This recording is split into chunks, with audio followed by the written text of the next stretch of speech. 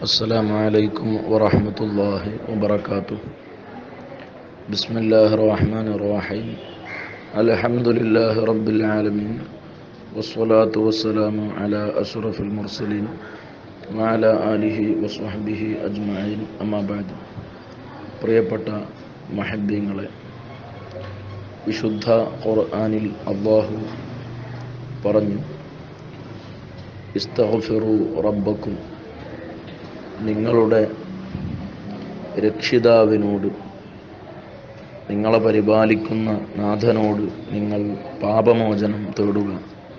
ഇന്നഹു കാന ഗഫാറ.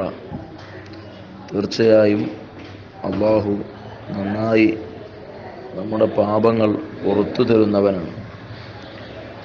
നൂറ് ആളെ കൊന്നവന് അള്ളാഹു മാപ്പ് കൊടുത്ത ചരിത്രം നബി സല്ലല്ലാഹു അലൈഹി വസല്ലം തങ്ങൾ പറഞ്ഞു തന്നിട്ടുണ്ട്. അള്ളാഹുവിനോട് പാപമോചനം തേടാൻ ഒരുപാട് പദങ്ങൾ ഏത് ഭാഷയിലും ഏത് രീതിയിലും അള്ളാഹുവിനോട് പാപമോചനം ആവശ്യപ്പെടാം. അത്തൗബത്തു അന്നതം പശ്ചാത്താപമെന്ന് പറയുന്നതിന്റെ കാതൽ ഖേദമാണ്. ഖേദമില്ലാതെ ചെയ്തുപോയ തെറ്റിൽ ഖേദമില്ലാതെ എനിക്ക് പുറത്തു തരണേ എന്ന് ഏത് ഭാഷയിൽ പറഞ്ഞിട്ടും പ്രയോജനം ഇല്ല.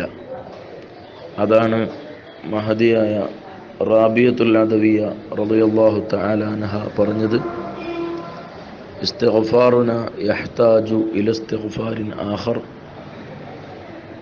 നമ്മൾ പാപമോചനം തേടിയാൽ അതിന് വേറെ പാപമോചനം തേടേണ്ടി വരും.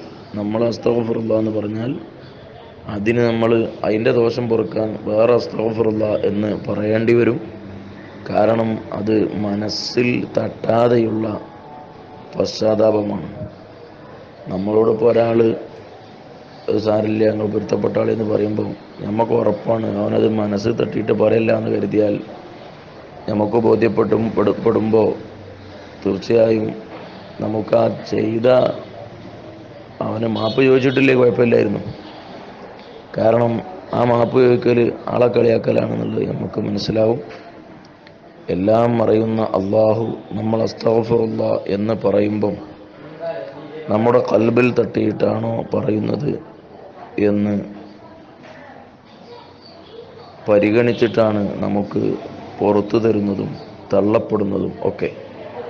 നബി സല്ലല്ലാഹു അലൈഹി വസല്ലം തങ്ങൾ ദിവസം നൂറ് വട്ടം അള്ളാഹുവിനോട് പൊറുക്കലിനെ ചോദിച്ചിരുന്നു قد غفر لك ما تقدم من ذنبك وما تأخر കഴിഞ്ഞുപോയതും വരാനിരിക്കുന്നതും എന്ന് പറഞ്ഞാൽ ജീവിതത്തിൽ ഒരിക്കലും നബി സല്ലല്ലാഹു അലൈഹി വസല്ലം തങ്ങളിൽ നിന്ന് പാപം ഉണ്ടായിട്ടില്ല ഒരു കറാഹത്ത് ഉണ്ടായിട്ടില്ല ഒരു വേണ്ടാത്ത ചിന്ത ഒന്നും നബി സല്ലല്ലാഹു അലൈഹി വസല്ലം തങ്ങളിൽ നിന്ന് ഇല്ലാതിരുന്നിട്ട് പോലും തന്റെ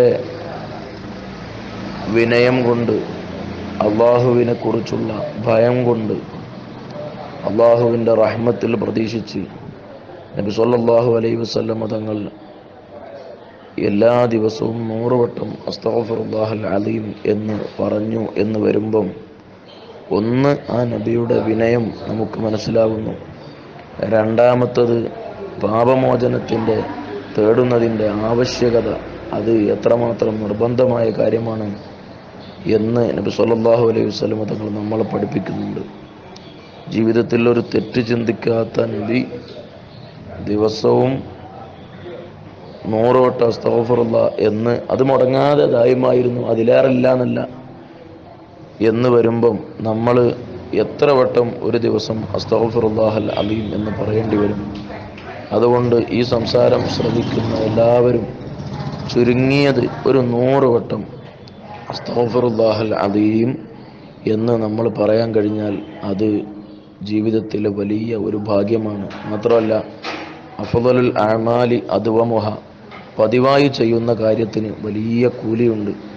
അപ്പോൾ ഒരു നൂറ് വട്ടം അസ്തഫറുല്ലാഹൽ അലീം എന്ന് എന്നും ചൊല്ലാനുള്ള ഒരു സമയം നമ്മൾ ഉണ്ടാക്കിയെടുത്തേ പറ്റൂ എന്ന് പ്രത്യേകമായി നിങ്ങളെ ഓർമ്മപ്പെടുത്തി അവസാനിപ്പിക്കുന്നു. അസ്സലാമു